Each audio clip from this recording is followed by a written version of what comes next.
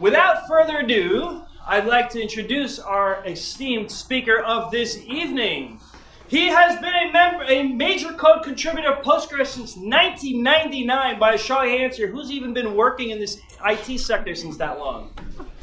Actually, it's a pretty healthy number, but it's still a minority of the room.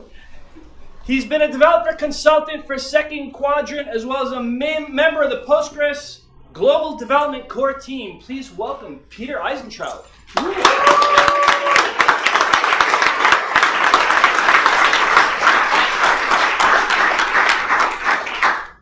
Wow, thank you. Um, nice turnout. Uh, next time we gotta come earlier. That's what we were today. um, so yes, uh, a lot of knowledgeable people in here. Thank you for coming out. Uh, see a couple familiar faces and a couple of familiar T-shirts. Um, who here is a Postgres user already? Uh, Okay, okay, it's by half. Okay, cool. So yes, Eric introduced me. I'm Peter. Um, I I live in Pennsylvania on the just the eastern side, just across the border from New Jersey. So I have some of the day trip up here. And I, you know, want to talk about uh, how how does Postgres actually work. Now, you know, maybe those of you who didn't come tonight don't want to know. But I, I, I think it's it's useful to look a little bit into the internals because if you you know if you're probably a DBA or a developer or, or someone who works with Postgres and is somehow responsible for, for a Postgres database perhaps uh, and you know if you have issues or things don't go the way you want them to go sometimes useful to know how, how things actually work a little bit under under the surface just to get some context for your problems and it helps you understand better as opposed to just, you know, it doesn't work. I don't know what to do. So that's what I want to talk about. So, so I'm going to talk about my employer a little bit because we're sponsoring tonight. Um, so I work for a company called Second Quadrant.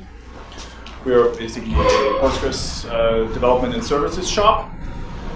We We've been uh, in business for more than 10 years, and we have, you know, we're a global company where we have more than, probably more than 70 now. We've been growing quite a bit. So we have, you know, quite a bit more than 50 staff in 25 countries probably now.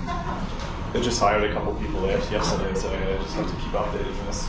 And we, we offer production support 24/7, so uh, you know, whenever you have a problem, even in the middle of the night, we have someone maybe on the other side of the globe who's awake can help you. And we do consulting, and we contribute to Postgres development. That's my uh, one of my main jobs to actually write Postgres code. So that, that's what we do.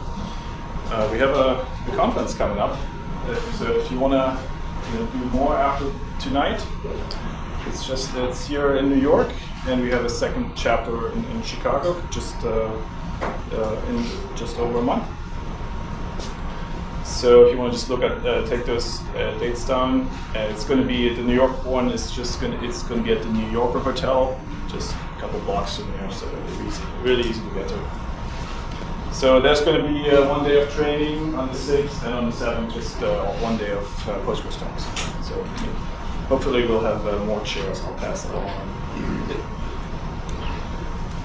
So my sort of whimsical subtitle of this is "From Query to Disk and Back Again." So reference, maybe someone gets it. Um, so you know, write a query, things happen, hit the disk, and then what happens in between? That's what I, what I want to talk about.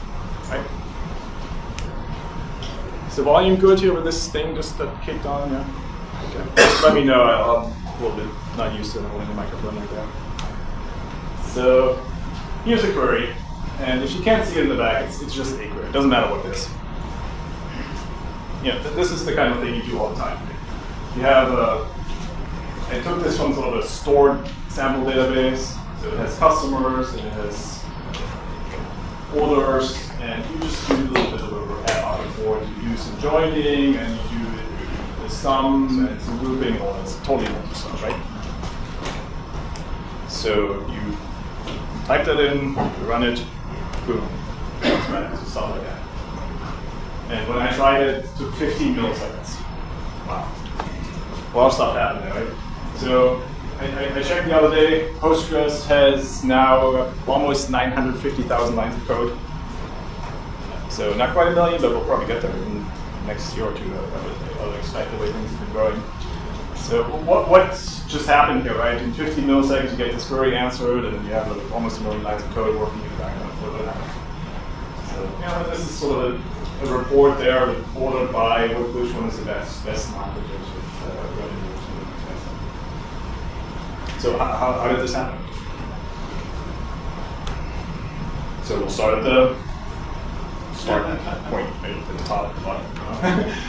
so you, you normally start with using PSQL. That's the, the uh, command line tool we had in the quiz just now, right? You have these backslash commands and stuff in there. And uh, at the core, if you sort of really narrow it down, this is kind of what PSQL does as a source code.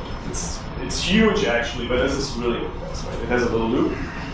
It takes uh, it takes uh, you know, prints a prompt and you type some, something in, you press enter, and then it checks did you type backslash something type backslash q, there's a big switch, if, else, if, else, basically. If you type backslash q, then and if you type backslash l, then you get the list of database, type backslash d, you do this. But if it's not a backslash anything, then it just passes it on to this pqexec call, sends it off. PSQL doesn't really know anything about databases. It, it doesn't know what you typed in there. Is, is that an SQL command, or does it even make sense, right? all it really does is it, you type something in, it's a backslash special command, there's some special handling for that. Otherwise, it just sends it off.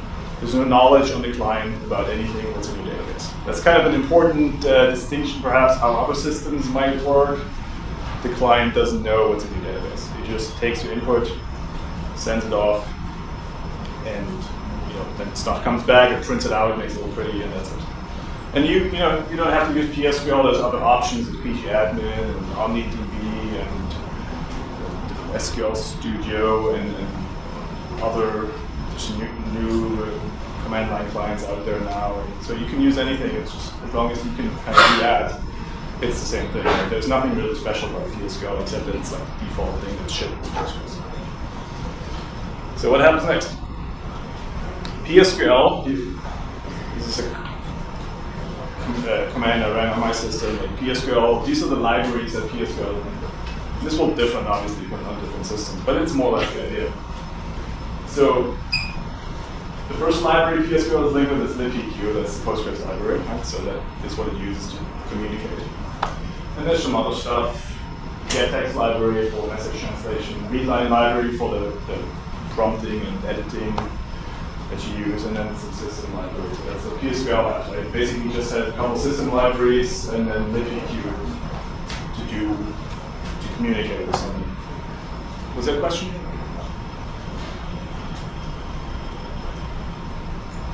So the next step in the chain is, is libpq. And sometimes people ask, why is it called libpq and not pg? That would make more sense. That's a, that's a totally ancient thing.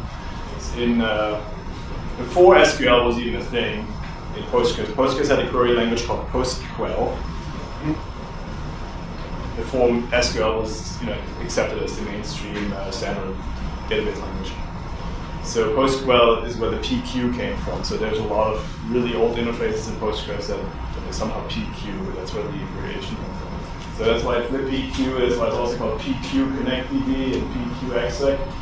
But curiously, the, the return structs are PG. So that's always confused me, and uh, a good. did that.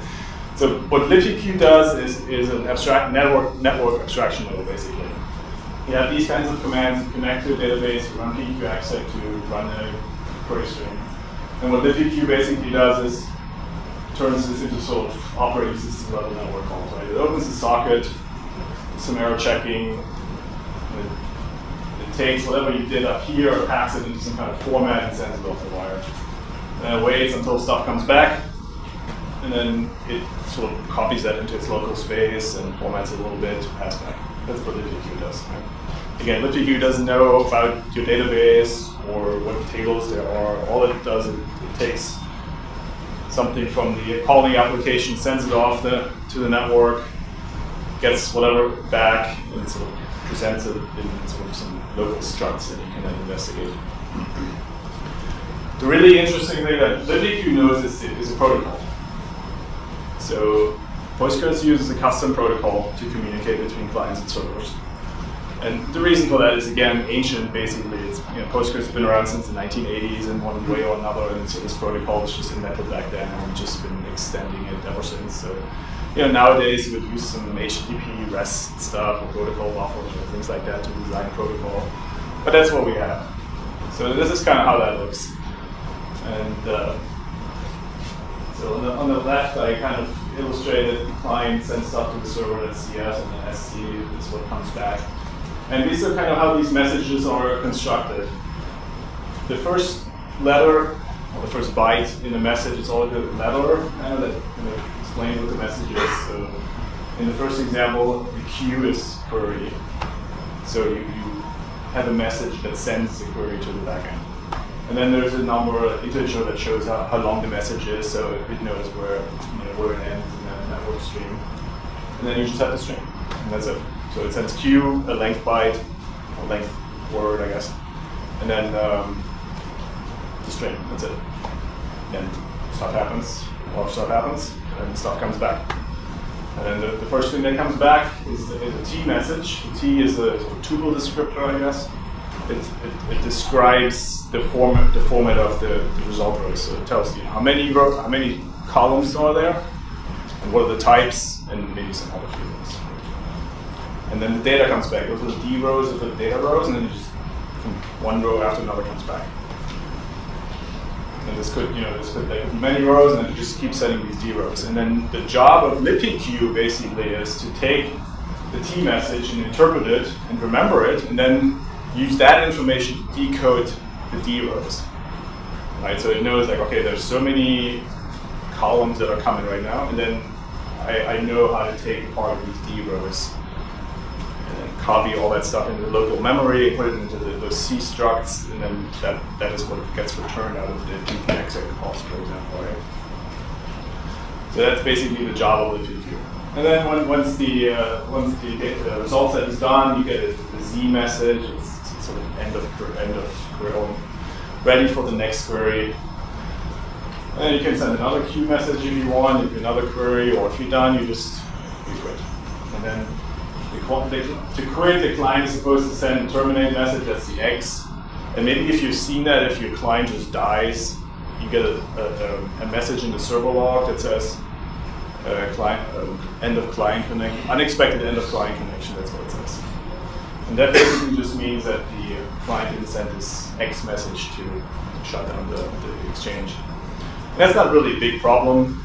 It just kind of tells you that the the client died unexpectedly, maybe there's something wrong in your, in your client code. Uh, it, it's not sort of a big uh, issue for so the data consistency or anything like that. So if you want to learn more about the protocol, there's the protocol first of all is documented, right? There's other database systems where the protocol is not documented because they have that kind of as a trade secret.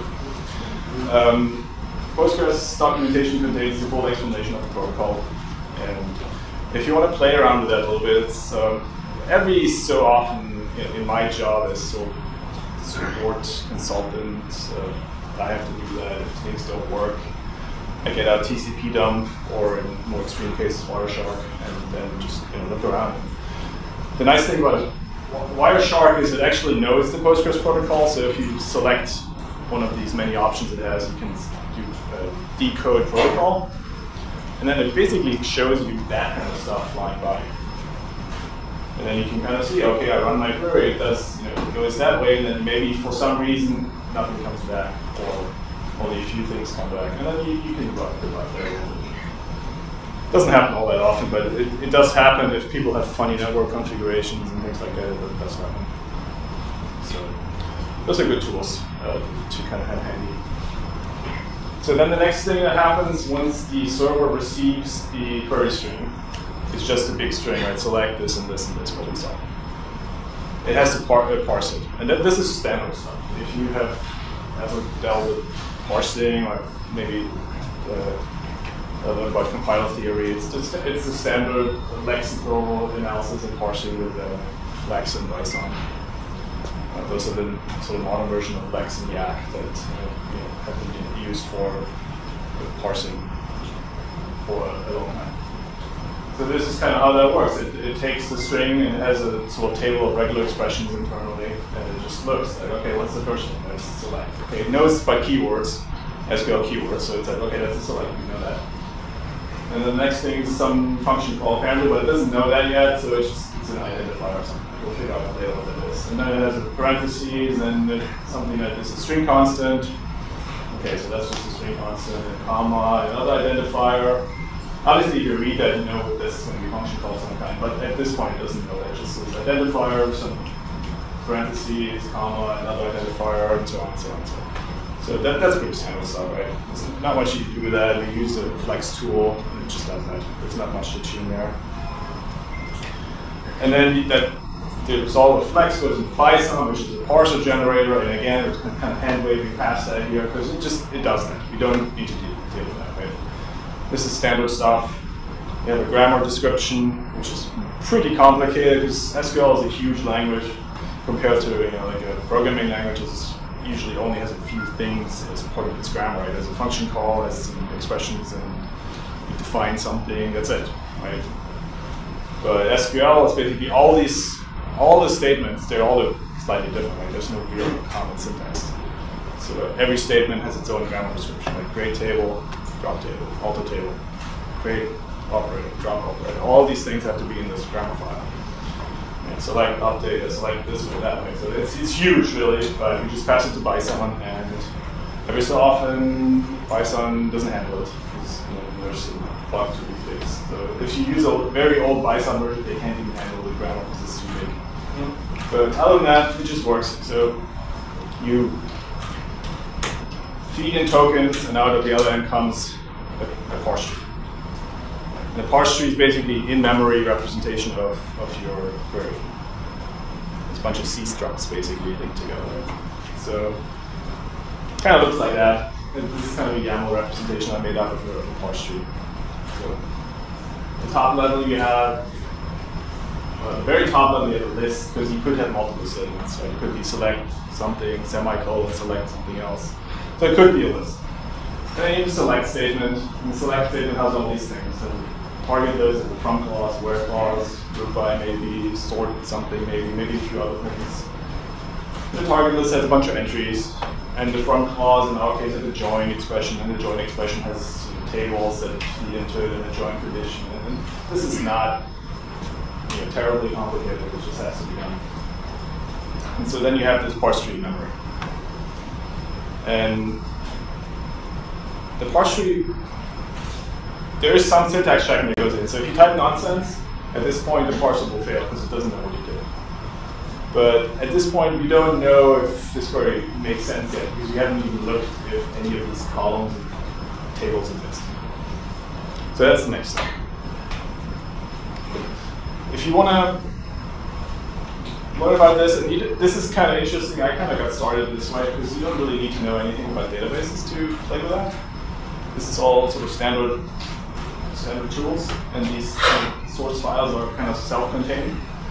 So if you can read the documentation of Bison and Flex, pretty good documentation, and these source files, then you will see how the parser and uh, Alexa work. So after that, we go into what's called a parse analysis. It's kind of the the remaining part of the, the parser subdirectory. And this is where all the error checking happens. So it goes through this parse tree and just checks everything. Does anything here make sense, right? It checks all these tables even there, all these columns there. Is, does this column belong to that table? Right? Do all these functions exist? These types? Is it allowed to put, you know, aggregates here and window functions there, you know, relative to group by that you put in and all that stuff? And it uses, it looks up everything in the system catalogs. Yeah. If it wants to see if table exists, it looks at the pg_class, and if it wants to know if type exists, it looks at the pg_type. And just, there's a whole lot of error checking. That's basically so. If you query, if you get an if you get an error from your query that it says like syntax error, this is not allowed. It probably comes from here. And then at the result of that is basically a parse tree that has been slightly modified and checked. Okay. So and then so here, here's a bit of an example of how that could work, I sort of abstracted that a little bit. But we have this clause in our query that says where customers.age between 18 and 35. So first it would look, what does customer.age even mean? That could mean, mean a bunch of different things, but then it figures out, okay, customers probably the table name, age is a column. And then it looks up the age column has a type of int2. And then, so it says like, okay, we're going to do it between with an int2 here. So how are we going to do that? So first we look up in each type the int2 type. We get no ID back. OID sort of the Postgres internal number, ID number, right? For, for, you know, it turns out to be 21, and we have to look up an operator. between itself is not an operator, right? Between means just greater than or equal, less than or equal. So, so splits that up. And it looks up that integer operator, gets the code back, it gets the, the name of the procedure back as an operator, it's just uh, implementation of the procedure. And then it looks into the pg_proc for that procedure and gets the source code, and this is the source code. So this is some C code that actually exists in Postgres. So the nice thing about Postgres is all of this is kind of in user space. I mean, you can extend it. Yeah. You can, you know, as you probably know, if you've used Postgres before, you can build extensions. And that means you can, you, know, you don't have to use built-in int2 type. This could be any type. And it would work the same way. It looks into these system catalogs to, to do, you know, where, what type is it, what operator is this, what function is this, and then it looks at the function. It doesn't have to be built in C code, it could be something implemented in an extension in a different programming language. So all of this is extensible in Postgres. And this, this happens uh, during parse analysis when it goes through the parse tree and see what, what are all these things. So once we're done with the parse, we go into something called a rewriter. And this is sort of an old academic part of Postgres in a way.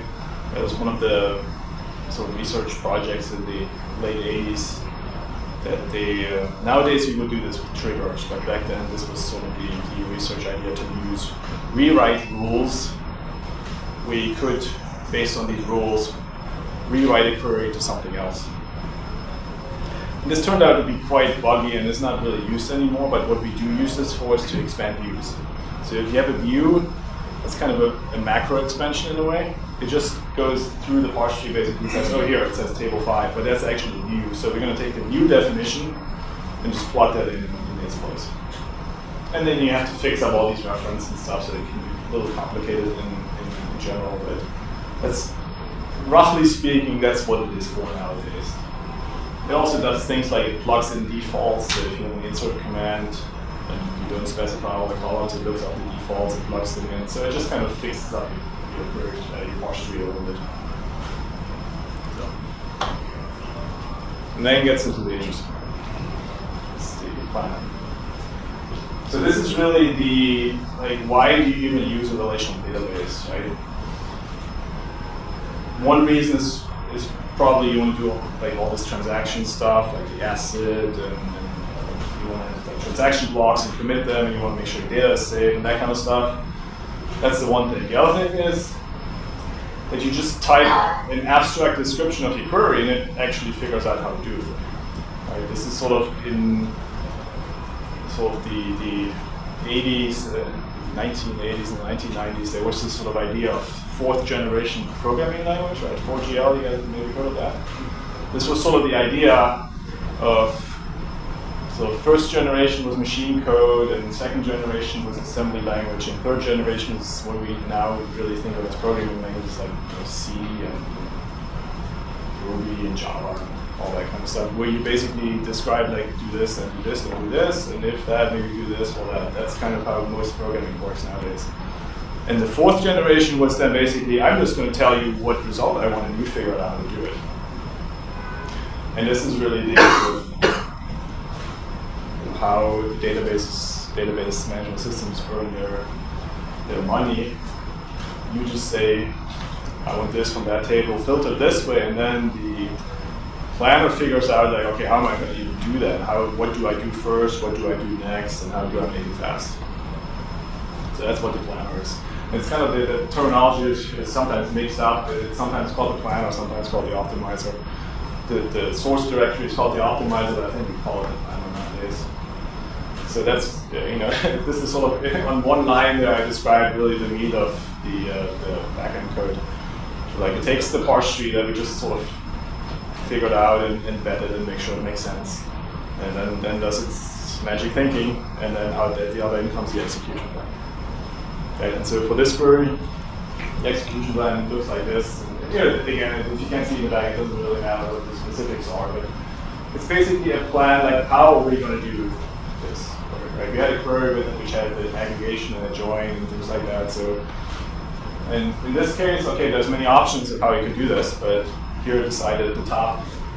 Okay, the, the, the, so it kind of starts at the bottom, right? But the, the last thing I'm going to do is sort. And just a sort key. And then underneath the sort, I'm going to do an aggregation, and there's different ways you can do aggregation. So in this, in this case, it shows that do a hash aggregation. And then as input to the aggregate, we had to join. So in this case, it shows to do a hash and I want to do the hash join. It has, has two tables as input. One is just a plain sequential scan, and the other one is the, the hash part of the hash join. So it actually does a sequential scan, and then builds a hash table out of that in memory, and then it does another scan, and this is kind of how a hash join works. I don't know. I'm not don't want to talk about how plan types work today. There's, there's other sort of talks and literature about it. This is pretty standard stuff too that Postgres implements, right? All these different join types and stuff. That's that's not something that Postgres invented, that's standard uh, database techniques. So how does it do that? That's not, we don't have time for how the planner works tonight. There's you know, other talks and, and a lot of uh, literature about that. But it basically takes two kinds of inputs. One is statistics from your tables. That's what vacuum and analyze collect.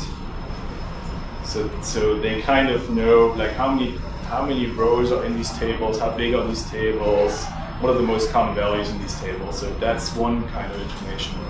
And then the other type of information is cost parameters, which supposedly model the hardware. Like how fast is it to go to disk versus go into memory. So it knows kind of the caching behavior of the hardware, how fast is it to do sequential scan versus a random scan, and this could be different depending on what kind of hardware you have frankly, that most of these numbers are kind of bogus, but uh, so it's not really like it models the hardware. It just you kind of tweak those numbers until they work right. Like that because it's really hard to model hardware really well. Like maybe in the really old days when they came up with this, you know, computers were simpler, but now there's so much caching going on and, and virtual memory and even the disks nowadays are not really disks anymore, right? They're just caching layers of uh, somewhere else, right? Basically, so it, it is really hard to model that correctly, but a, at least that's a general idea. So in principle, for, for a complex query like this, there's a lot of possible plan types, right? You could do sorts, you could do the aggregation in a different way, you could do different joins. Maybe if you choose a if you choose a merge join here, it's already sorted, so you don't have to do the sort. So you have to figure out if I choose the merge join, I save the sorting later, but how much more expensive is the merge join going to be? How much memory do I have available? And then you can go tune in like if I more memory and so on. So this is all that's happening here. Right? So and it, again, there, could be a whole talk a whole one-day training session about how this works. And this is really where you know, if you have a performance problem, this is kind of where you start. So Postgres source code, you know, has a lot of good readmes uh, around, so it's kind of nicely organized subdirectories, right? There's source backend parser, source backend rewriter, source backend optimizer, and there's readmes, and they're, they're useful to read. They're really quite, you know, elaborate at times. So if you just, if you want something to read, you can just take the Postgres source code and just look all the readme files and read them. That's, that's a lot of good information there, right? They're not just kind of silly, this is the planner directory kind of things, right? So, so do look those up if you're kind of interested in diving into this more. So to put this together a little bit of like how, where we are so far, and there's a, a few commands here that interact with this pipeline a little bit. So the, the normal way is just in the middle from top to bottom. Right? You, you run a select or some other command, similar to select. You parse it first, and you do the rewriting maybe, and then you have the planner, and then we'll do some execution, which we'll talk about next, and then you sh ship back the result. But you can run some of these other commands and they kind of interact with this pipeline a little bit. So if you use prepared statements, you start with the parsing, but then when you have the plan, you, you stop there, and you save the plan.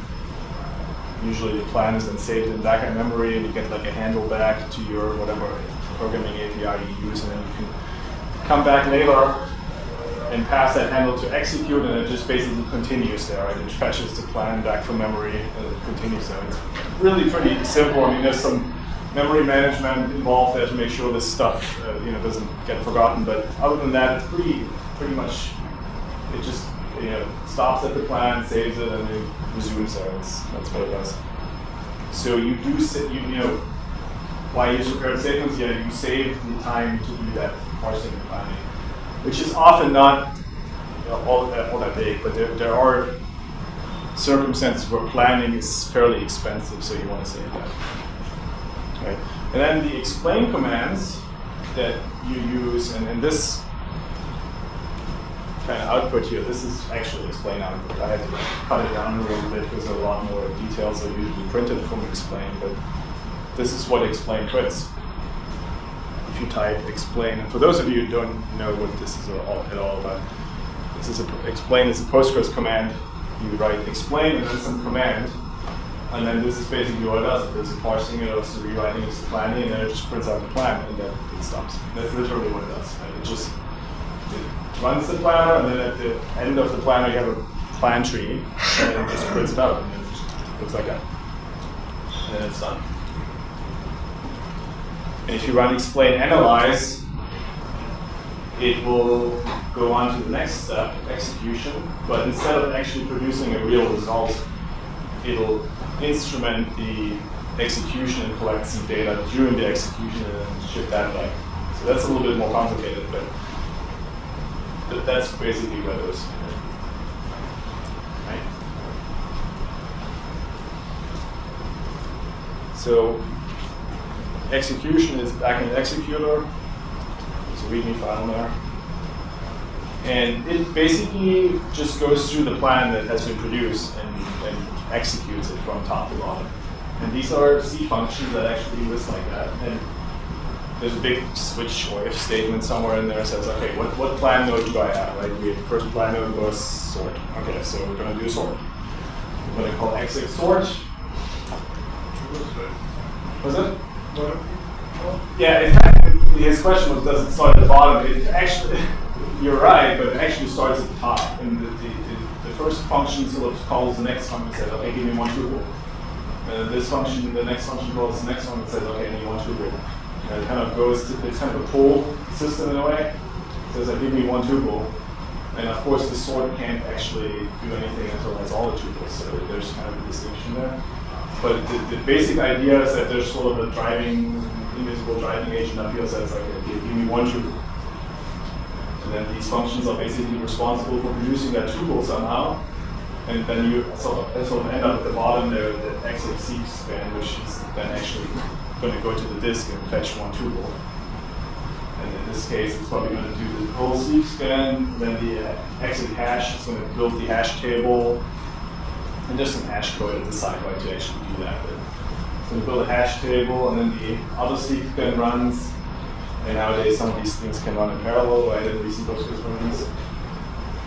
And then the hash join actually does the thing, right? It does the seq scan and then look into the hash table and picks things out. So is not super efficient, and there's actually like research going on or some implementation going on that to kind of change this model. Just this idea of, you give me one tuple and then give me the next tuple, and then it's well, goes through these steps and goes back up these steps for every tuple, sort of theoretically. It's not very good in terms of CPU efficiency. So some, you know, maybe in a few years down, this might look quite different. And uh, there's some experience now with like just-in-time compilation with LLVM and that kind of stuff. That's sort of ongoing ideas now. But this is how it has been working for the last 20 plus years or so. So it basically just goes through this execution plan that has been produced, and for each node, it has a special function that actually executes that node. So there's a README file. And so then below the executor, we have the what we call the access methods. That's actually where you do this. Well, that's actually not quite where you do the this access, but it's where you actually then do the sequential scans and where you do the index scans. And so in our case, we get a sequential scan, that's fairly simple. These are sort of API calls. Do a heap open, give it a lock level. then you do begin scan, and then in some cases you can put some keys in there for you're filtering in a certain way. And then you, you have this call, heap get next. That's basically give me one tuple, give me the next tuple. So it would kind of do that. When it starts a sequential scan, it would call this, this open and stuff. But then for every tuple, it would call give me one tuple, give me one tuple. It's not super efficient, and, so you do batch processing, like the gun stuff would be better. But that's kind of the way the system works right now. And if you do, if you have an index scan, which we didn't have in this example, you would have that instead of heap, you would have index open, index begin scan, index get next. And codes to create resources.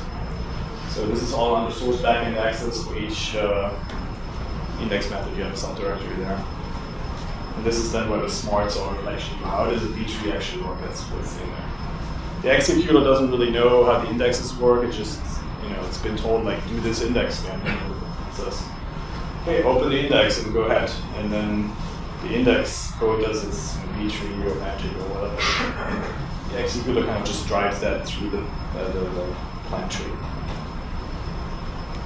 So here are these sort of every index method. There's quite a few now in Postgres. There's you know, the standard B tree, hash, gist, gin. There's also the bloom filter index method now there's the space partition gist, and there's a bunch of things now for special use cases. So they all have their own implementation of whatever the index is actually supposed to do internally. But the API is kind of the same. So open index, give me it next to it. So it's pretty. So that way you can kind of abstract out of that. And if you really want to go deep into code, this is kind of cool stuff to read. Like how does the B-tree code actually work? That's that's pretty cool stuff.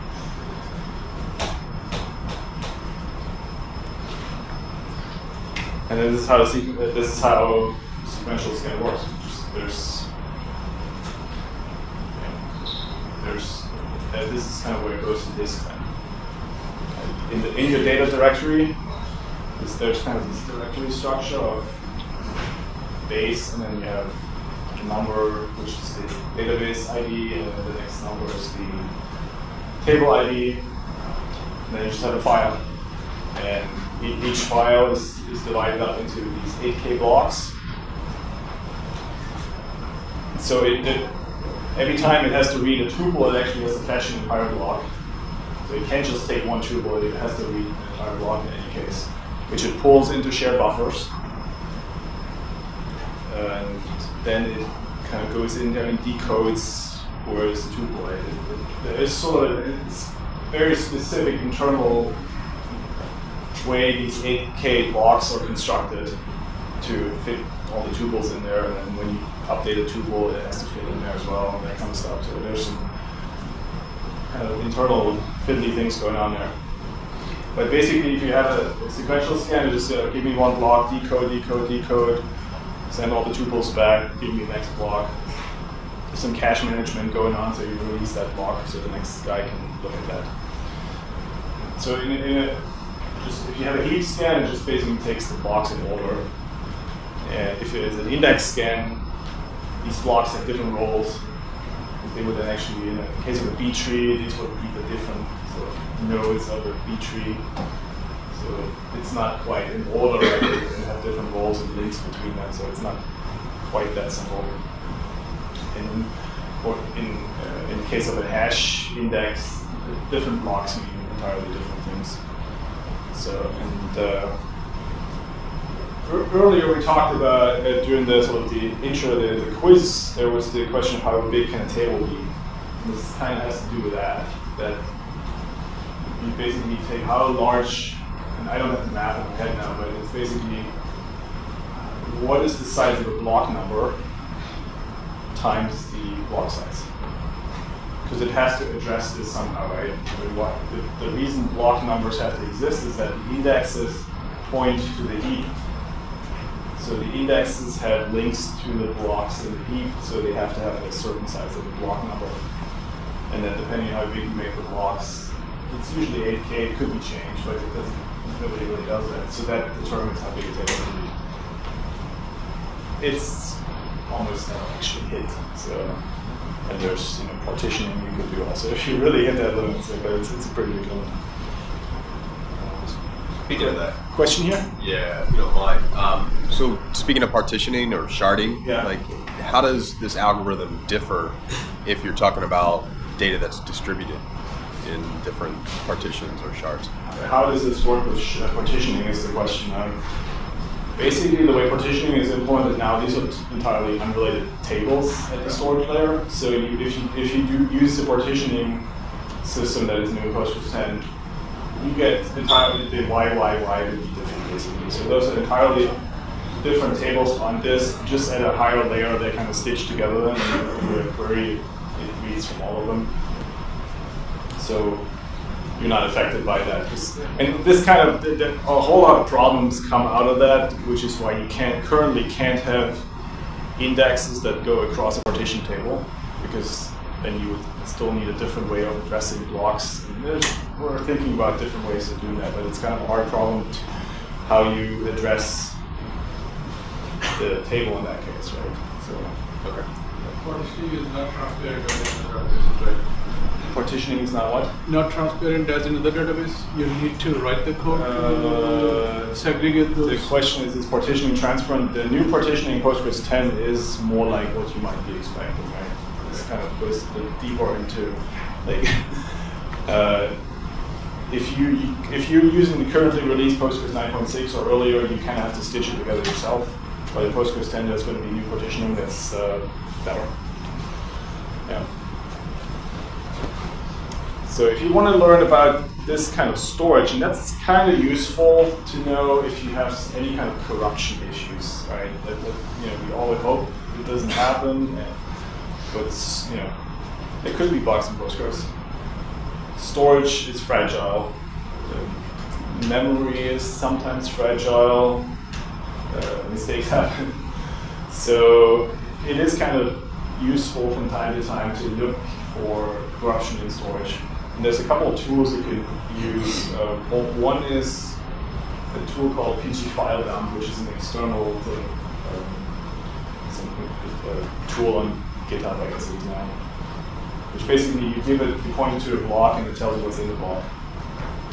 And then if there's garbage in the block, it will kind of tell you. It says like, okay, it's just junk in here. This, this kind of happens, right? So blocks get overwritten by junk, file system messes up. It shouldn't happen, but it does happen. So this is what uh, each file dump can happen with. And contrib page inspect is a similar, is a module that can tell you what's in the page. Kind of overlapping functionality a little bit. Um, and contrib page inspect can also tell you, you know, if it's a if it's a B tree page, what is in the B tree page, how many things of various things are in there.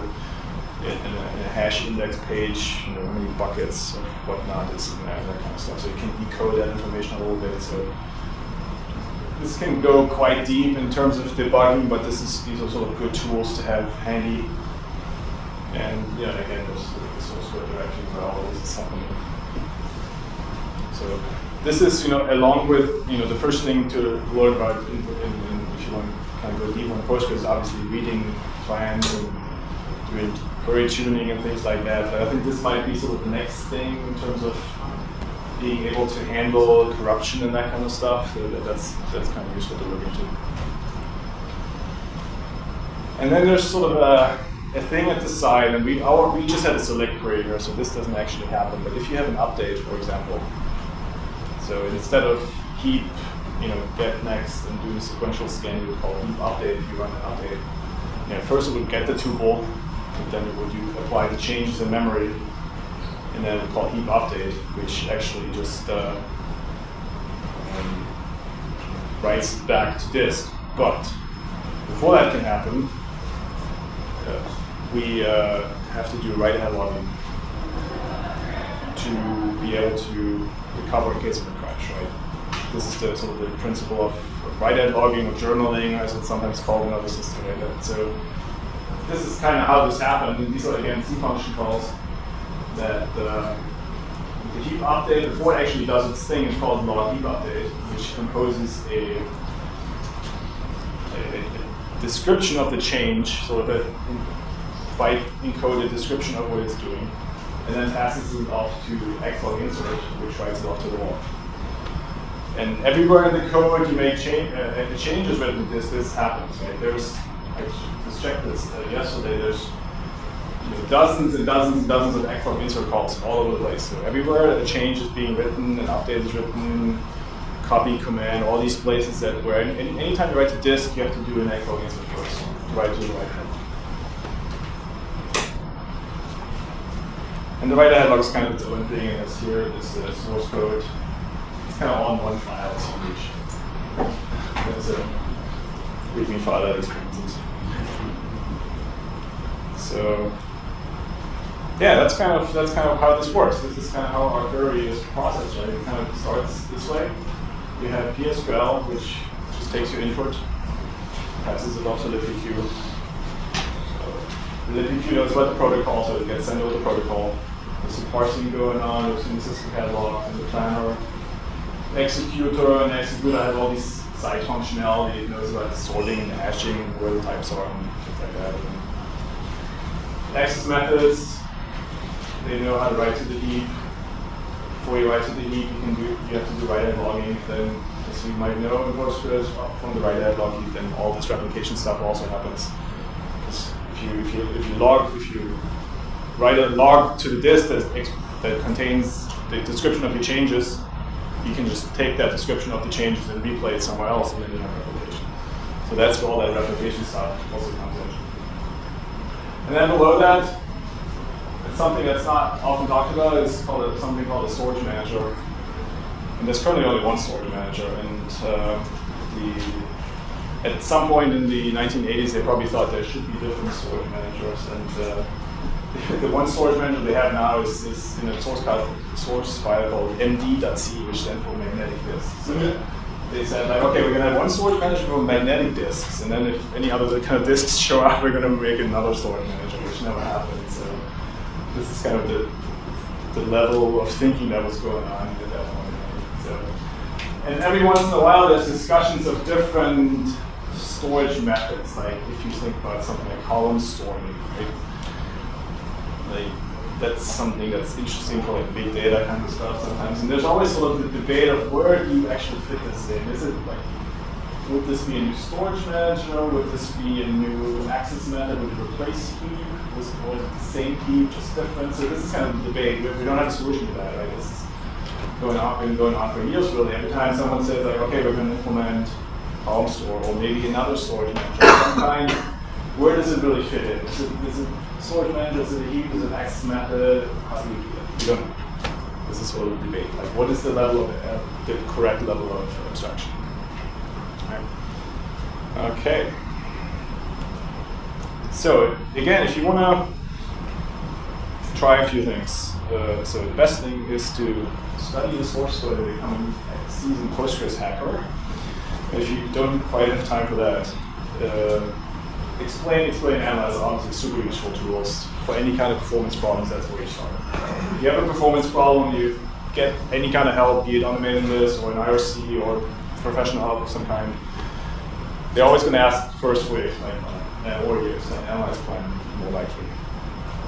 So that's where you have to start try understanding that. TCP dump is useful if you're sort of the network type, but PG file dump and PG WAL dump to understand maybe file issues, corruption issues, those are useful to have handy if you need to do that. And then uh, studying extensions is useful if you just want to know how the externals work a little bit. So there are extensions that define new data types or new functions.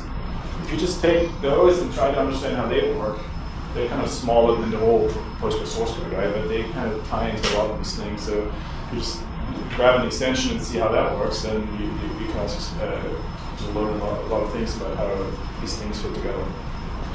So, so today is what, Tuesday, right? So Thursday, Postgres 10 is coming out.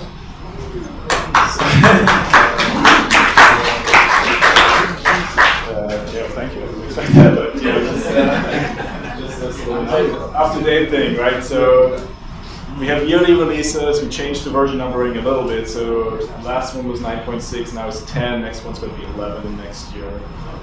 So do check that out as you know logical replication, lots of more parallel stuff, new partitioning. I just mentioned briefly. I'm not going to go into the details of that. There's other talks about that out there on blogs and, things like that. So that's uh, coming soon. So please uh, check that out if you want. Our conference again. There's also New York uh, Postgres, New York City PostgreSQL user group. If you want more of that, it's on Meetup. It's also in April going to be a big conference in Jersey City at PGConf US. So lots of Postgres content is still around uh, this city, this area. So please check those out. And that is the end of my presentation. I, you know, it's almost 8 o'clock. I guess we can take maybe one or two questions if there are any. So I guess we'll start. Uh, I, I've just started to evaluate and I'm going to repeat it for the microphone. I just started to evaluate Postgres SQL and I was reading upon it and went to the documentation, but also I came upon, upon uh, an article about Uber Yeah. To why they Uber article. Yes. The Uber article was mostly had a good had a few good points, and we're trying to address them, but it was also wrong in a bunch of points. So that was not that's not the article I would really evaluate from. Okay. So I can give you the details later, maybe But is separate- there, uh, is that really true when you update as secondary index? You kind of go on updating all the tuples for the. That if you update an index, you update uh, somewhat. Yeah, that's a problem. If if you if you have if you update the tuple, you have to update all the indexes that went to the tuple, up to some optimizations, and we try to make that work. That that that's, that could be a problem. A lot of the other things in that article were not quite correct, so kind of there are some follow-ups and rebuttals to that, so please read those as well. I, I read that. Yeah. But is that fixed in like, That that is not been fixed in that. not no. yet? Trust me. Uh, we were talking about some bits of the process involved, like code that was written in the 1980s. Mhm. So, how does the project manage technical debt?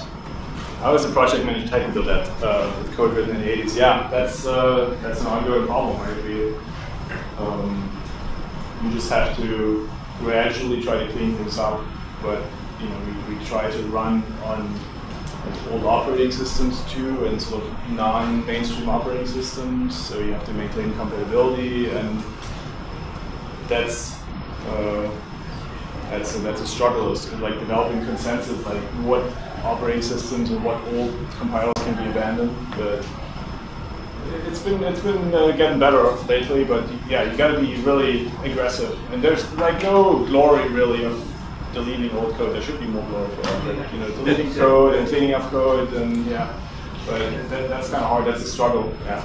But you got to kind of just uh, force yourself to do a little bit of that every so often. Question over there. Uh, is it possible to make master master replication? Is it possible to do master master replication Postgres? Uh, yes, it is possible, not with the built-in stuff, but there's an extension called BDR, just developed by my colleagues at 2ndQuadrant. Uh, It does work. Uh, just be careful with the use cases. It's not really HA. It's more like for distributed, like geographically distributed things. So if anyone wants to know more about any details, I got a few business cards here. get in touch with me if you want to know about BDR replication stuff about Postgres. Uh, otherwise, I think we'll conclude here. Eric, do you want to say final words here, or how's it, how's it go? Uh, let's take a few more questions. More questions. Okay, I don't know what the time constraints is here. Then we'll take all the questions. Uh, who's got a hands up? Yes, please. Is there any particular features coming down the pipe that would, that's interesting? Are there any particular features coming down the pipe that are interesting? Um, yes. um, I think 10 was kind of a, a, a, new sort of milestone in the way that we have now a lot of groundwork for more things to come, like parallelism. There's a lot more stuff that could be parallel. Uh, partitioning could be a lot better in terms of you know, global indexes and all these stuff we kind of briefly chatted about. So there's probably a lot more like that. Logical replication that I mentioned that could be improved in all kinds of ways, including in, in, uh, integrating multi-master functionality that's currently external. So there might not be like a, a brand new super novel feature in the next year or two, but certainly there's a lot of room for improving and expanding on what's currently been uh, recently been put in. So I think that's sort of my expectation there more. Yes, please. Wait, before we take the next question, I just want to remind everyone we are giving away a Raspberry Pi Oh, yes, kit. Yes. And the bowl to put your cards in is right where that guy. Yeah, if you could just pass that around the room one more time, because once we're done with QA, we're giving that away. So last chance, put your business card in there. If you don't have a business card, just make one on a piece of paper and put put it in that bowl. Okay, question there. Hi, um, I've recently gotten into what you might call static analysis of large parts of Postgres code for things like the upload dependency analysis and stuff. Mhm. Any directions you can point me in, uh, the obvious of like Googling these, these tools, the like the marketing or that. Any, directions you can me in? Any directions for what kind of tools? Um, tools for just analyzing Postgres code, particularly things like data flow, dependency. Analyzing the code for data flow. Yeah. Um, we do use Coverity uh, and LLVM scan build for sort of uh, you know, static analysis for bucket checking. So those are the kind of two tools I know that we use. Uh, other than that, I, I don't really know. Okay. No. Question here? Yeah, and with regards to distributed systems, um, how does Postgres out of the box handle conflict resolution? Distributed. Well, Postgres by itself is not a distributed system, so it doesn't do that. Uh, there are, you know, BDR, what I mentioned, which would do multi-master lo- logical replication, has you can configure what to do with conflicts. And there's a couple of options, like you know, by timestamp, by origin. There, you can write custom handlers. Uh, so that's basically that. There's also something called Postgres XL, which is uh, sort of uh, how would you describe that? It's sort of a bunch of nodes that appear as one logical node. So I guess there are not really conflicts in that case because everything has sort of local transaction awareness. So there's a couple different sort of extensions or quasi forms of Postgres that do different things there. Has everyone had a chance to put their card in? Yes? Can I put All my right, last question. Oh, no. the people in the back come up here, put it in, and we'll take your last question, and we'll give away the. question? Yeah, last question there. Is Postgres XL web scale? Uh, Mason, what do you think? Is Mason still here? Did he leave? No, we had the author of. Mason Sharp, we like. Did he just leave? I just saw him a moment ago. We, we should have asked him because he was the original author of that. Um, no, P- Postgres XL is, uh, is, is quite cool. It's not sort of uh, mainstream, but it, it does. it- It's really cool, right? You just give it more nodes, and it runs you know by that amount faster if you can uh, distribute your data that way. Um, but it, I guess it's mostly sort of analytical processing. It's not really necessary for transactions, but you could do that. Okay, more questions. Yeah, let's, let's do these two then. Sure. Um, I have a question in regards to um, use cases or scenarios maybe um, where Postgres is being used as a data store to pull data from things like uh, specific blockchains like Ethereum. Have you heard of any of these? Postgres to pull data from what kind of thing? Uh, for deep, for deep query blockchain. And if to pull from uh, blockchains, no, I, I don't know. I don't know anything about that. No. That is interesting because it's basically a blockchain is kind of a database itself, right? But I, I don't know anything about the. I, I have not heard of that kind of use. Shall we do the last one? Yeah. Yeah. Um, it's it, to me it's it's pretty confusing, you know, presentation actually. Um, I don't quite understand. Uh, in the time of highly distributed systems, MPP databases, Hadoop, and you know everything which is happening, who really cares about the uh, old plain relational databases? But even even if people do, why to expose all of this code written in C style in 80s or 90s? why, why why did you choose that thing? It's like the same thing that somebody from IBM will come and show us the code for ZOS that they developed in 69 and, and we will look at this, but you know, how is it relevant to current times? Three Queries. Um, that is a good question, yes. There is sort of, I can answer this in two ways. One way is, I don't really know, but people do use it and I serve them. I mean, that's one way to do it. And the, the other way is you can, you, can, you can think about it, you know, enumerate, you know, compare to system X, how is a relational database uh, of advantage?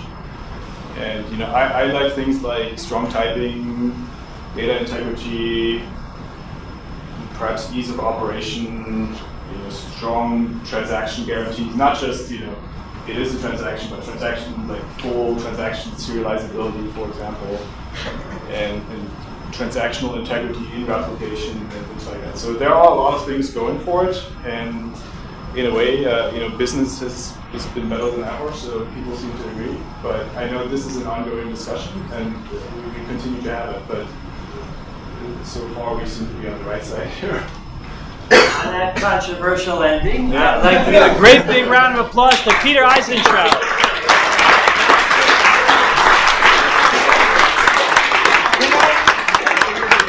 Can I ask you to just mix it all up?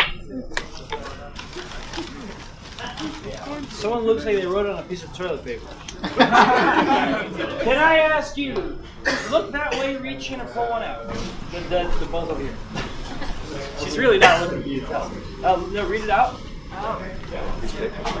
Uh, that has no information. I said make a business card, not write your first name only. We're, that person doesn't win. Next you should grab another one. No eat forever. Oh wow! See, that's a real business card. Vlad Stednik. Stednik. Vlad Stednik. Stednik. Vlad, wow. Somebody? No, all right, he, he lost no. out. No? No Vlad's here. Okay, grab another one else. Throw it back here. Grab another. That's another one. No, no, no. We, we need a card. We need a card. We're on a roll here.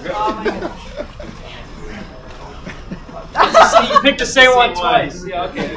Try again. I'm gonna take this one out. Maybe I'm not a good picker? Oh, wow. Here we go. That's a real card. Okay, uh, Ben Morrison? Oh. All right, Ben Morris. Thank you. Thank you all for coming.